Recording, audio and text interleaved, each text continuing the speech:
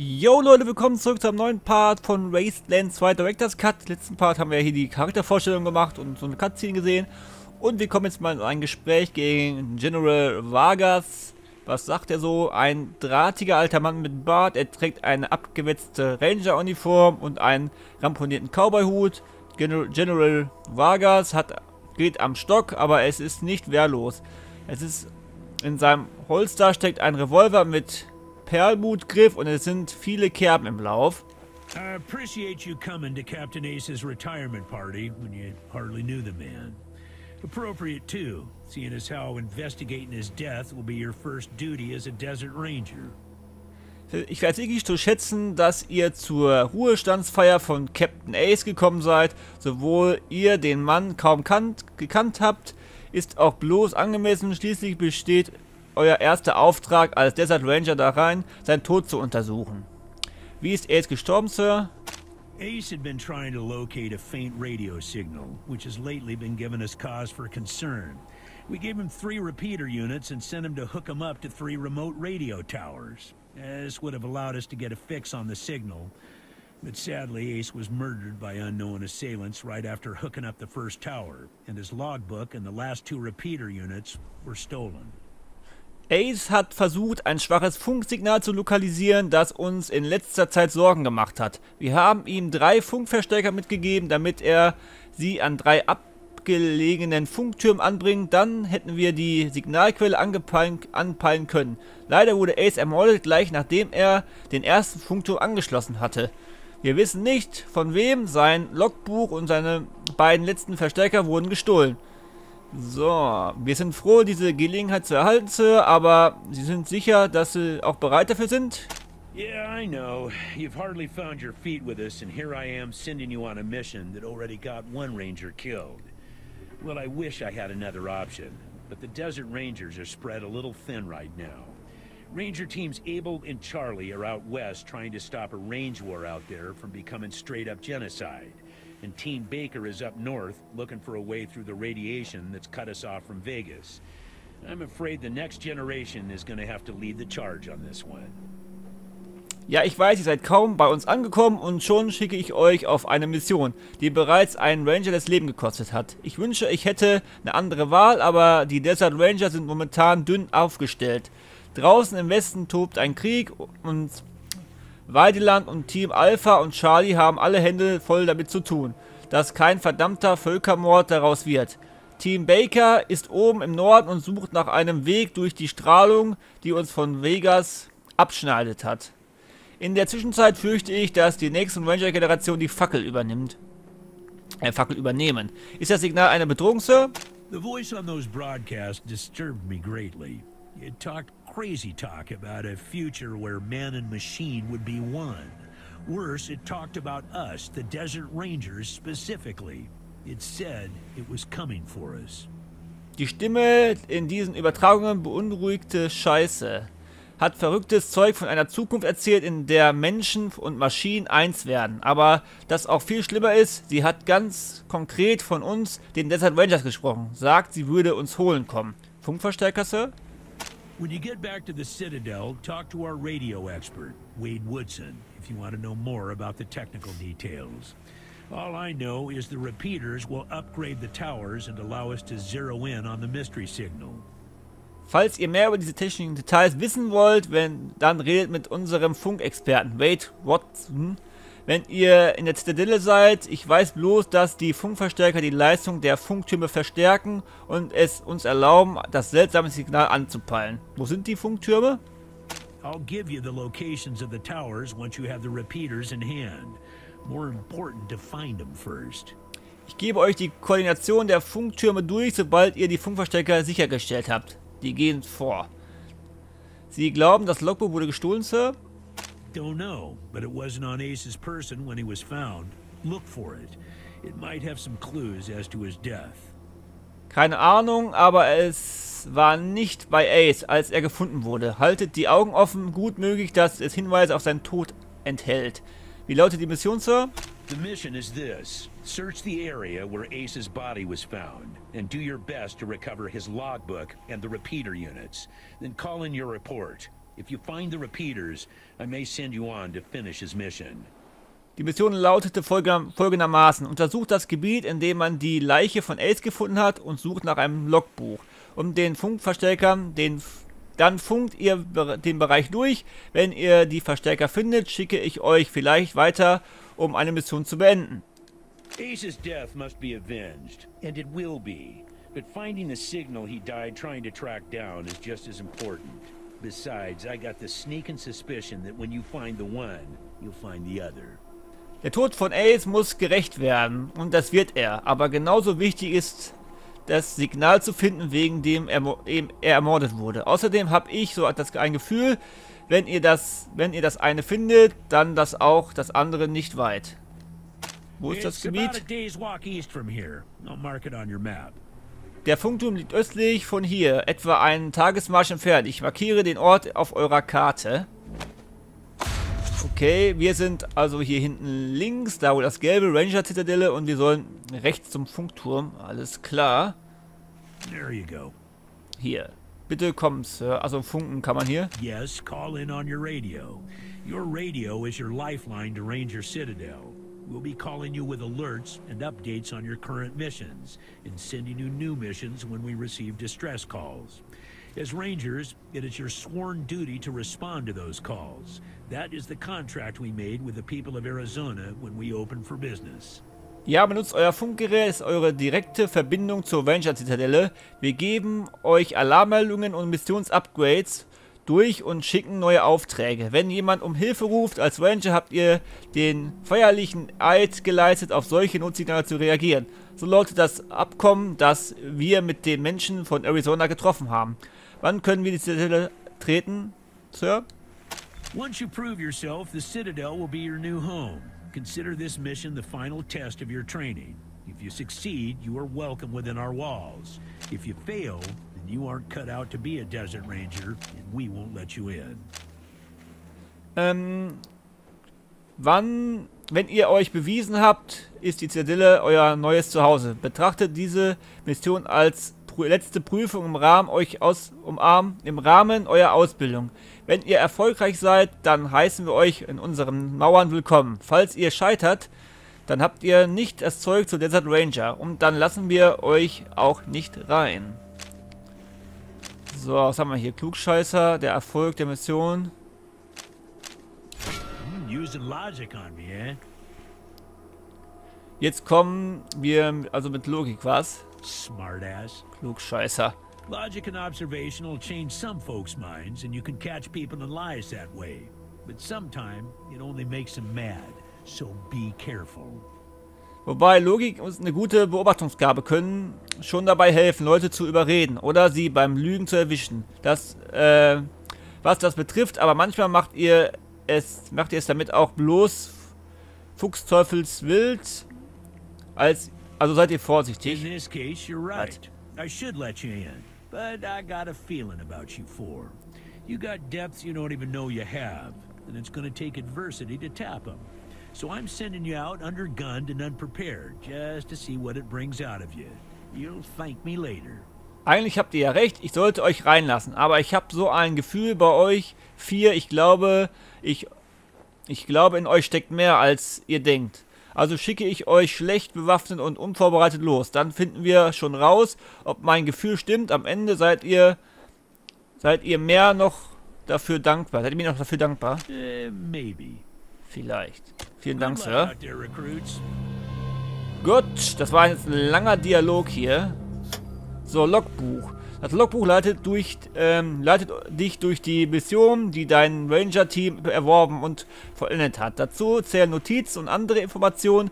Du kannst im Inventarmenü darauf zugreifen, wähle einfach eine bestimmte Mission in der Liste, um mehr Details zu erfahren. Es lohnt sich, dir einen Fortschritt zu verfolgen. Alles klar. So, laufen wir mal hier rum. Was haben wir hier auf dem Boden? Eine Schaufel, nützlich zum Graben. Das Nehmen wir mal. Gegenstände benutzen. Du wirst im Ödland jede Menge Gegenstände finden, die von denen einige in der Spielwelt benutzt werden können. Um diese zu benutzen, öffne dein Inventar und wähle, der Auswahl des Gegenstands die Option Gegenstand benutzen aus. Bestimmte Gegenstände können, bestimmte Gegenstände können in der Welt an Objekten benutzt werden, indem du ihnen äh, gehst und die angezeigte Aktionstaste drückst. Vergiss nicht, dass die meisten Gegenstände nur mit bestimmten Objekten oder Personen benutzt werden können. Alles klar. Mit denen können wir jetzt nicht reden, oder? Was haben wir hier? Ähm, untersuchen. Hier Root Ace geboren als Mensch schon. Kann man eine Schaufel verbinden? Hey, Hey, Guten, was zum Teufel macht ihr denn da? Das ist eine weite Erde. Okay, sorry dafür. So, haben wir hier irgendwas? Hier ist, glaube ich, nichts, was man untersuchen kann. Hier noch irgendwas? Nö. Was haben wir hier? Untersuchen. Jetzt sind hier ein paar Grabsteine. Okay, aber jetzt nichts Interessantes, was uns jetzt weiterhilft. Das sind einfach nur Gräber von anderen Rangers.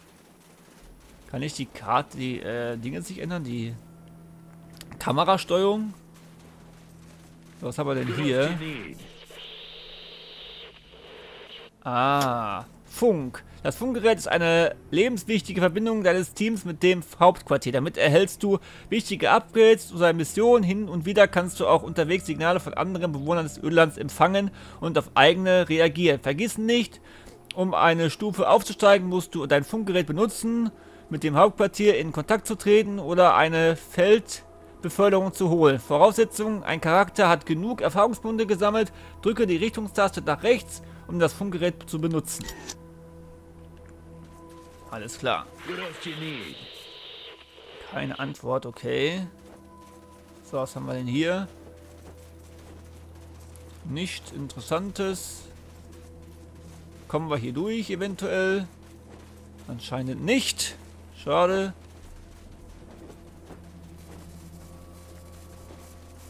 Was haben wir denn hier? Untersuchen wir mal. Bronzetür. Kann man mit dem quatschen? Ja, kann man. Ich will mit dem quatschen. So, hier. Ein Desert Ranger, ein ähm, schartiger, aber blank geputzter Kampfpanzerung steht vor den Türen der Ranger-Zentelle. Stamm. Ja, saluiert freundlich. Willkommen an den Ranger-Zentelle-Rekruten durch der General hat mir befohlen, euch nicht hereinzulassen, bevor ihr nicht eure erste Untersuchung durchgeführt habt. Alles klar. Das ist ein Fass. Hier ist eine Händlerin. Eine freundliche ältere Frau in typischer Ranger-Uniform. Sie scheint damit beschäftigt, Güter zu erfassen und in Kisten zu ordnen. Ange abgesehen von ihrer Kleidung ist sie das Bild einer lieblichen, liebenden Großmutter. Man könnte schwören, sie riecht leicht nach frisch gebackenen Plätzchen. Hallo Rekruten, willkommen in Solvage. Allerlei, ich würde mich freuen, mit euch zu handeln. Das ist übrigens meine Ehre, eure Bekanntschaft zu machen. Es, es ist immer wieder schön, neue Gesichter zu sehen und sicherzustellen, dass sie alles haben, was sie brauchen, bevor sie eine größere Welt hinauszugehen. Aber kann man eher so Waffen, kann Rüstung. Wie viel Geld habe ich denn eigentlich? Verkaufen. Wo sieht man das, was ich habe? Ach, da unten, oder? 50 Dollar. Das kostet 125, das kostet 200 Dollar. Man sieht oben rechts eine Farmers. Geil. Eine M14. Mitternachts Special. Die Scorpion, also die Waffen heißen hier echt. Also echte Waffennamen haben die hier. Äh, ihr könnt uns ausstatten. Ähm,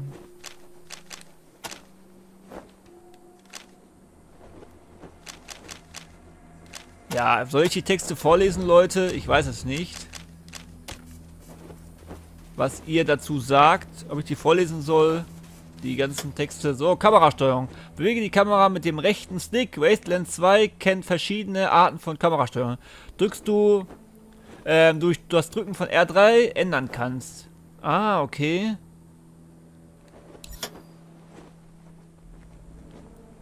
Äh, die zweite Kameramodus ist der Schwankenmodus. Diese Kamera kannst du mit der Kamera... Okay.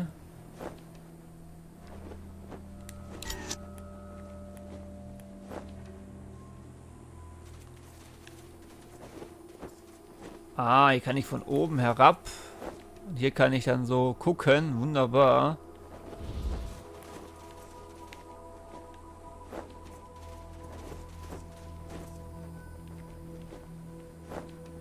Ach, hier kann ich die Textgröße ändern. Hier die...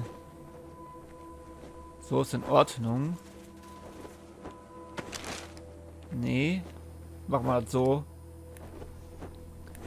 Ah, man kann hier also...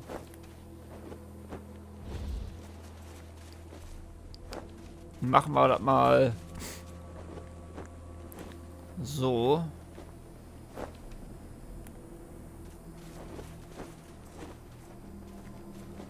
Ja, die Schriftgröße so und machen wir das mal von oben.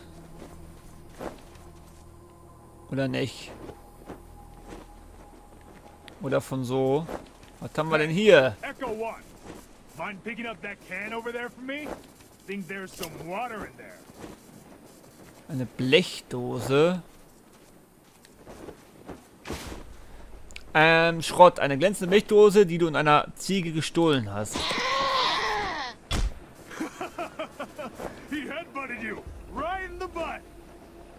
Alles klar, machen sie sich lustig hier, weil ich hier die Dose aufgehoben habe und die Ziege mich dann angegriffen hat. Alles klar, Leute. Nicht die feine englische A. Was haben wir hier? Wasser, es ist sauber aus. Es könnte hier eine Wasserbehälter auffüllen. Eure Feldflaschen wurden abgefüllt oder aufgefüllt. Okay.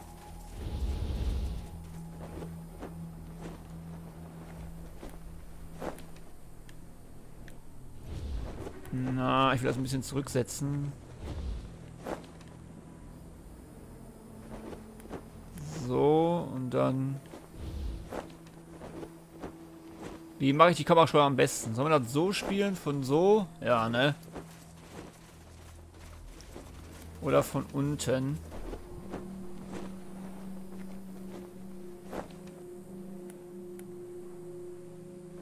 Ja, wir spielen von... Wir spielen so, Leute. So, dann reden wir mit dem hier. Habt ihr euch geglaubt, dass eure Dose will? Was? Habt ihr echt geglaubt, dass ich die Dose will? Ich wollte bloß, dass äh, euch die Ziege in den Arsch tritt. Ha, Witzbold, ey. Was redet der in der Mitte hier so? Was will der? Psst, ich brauche keine Ausbildung. Gebt mir bloß ein bisschen Munition und sagt mir, wo die Plünderer sind. Hier gar nichts. Geht ihr Jungs auf eine Mission, Mann? So bin ich bin so neidisch, kann es gar nicht erwarten, endlich nach draußen zu kommen. Vielleicht dürfen wir ja euch mit mit euch mit, wenn's ihr wisst schon, einer von uns ins Gras, von euch ins Gras beißt. Bei uns wird keiner ins Gras beißen. Ah, hier können wir ins Ödland gehen, alles klar. Was haben wir hier noch irgendwo? Uh, die Kamerasteuerung ist echt kritisch alter Wohnwagen. Was haben wir hier? Untersuchen. Etwas scheint hier vergraben zu sein. Machen wir mal die Schaufel benutzen, die wir gefunden haben.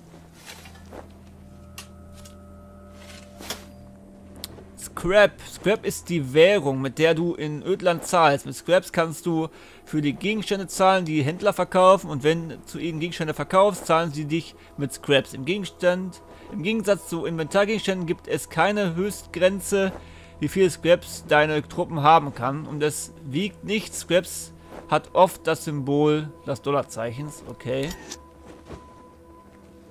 Jetzt haben wir einen Scrap gefunden. Alles klar, wunderbar. Ein, ein, ein, die Währung gefunden. Wen haben wir hier? Ja Leute, ich mache mal hier an dieser Stelle mal einen Cut. Wenn euch die Folge bis hierhin gefallen hat, lasst gerne eine Bewertung da, schreibt Feedback in die Kommentare, wie euch die Folge gefallen hat. Dann sehen wir uns bei der nächsten Folge von Racing 2, Leute. Ich bin raus. Peace!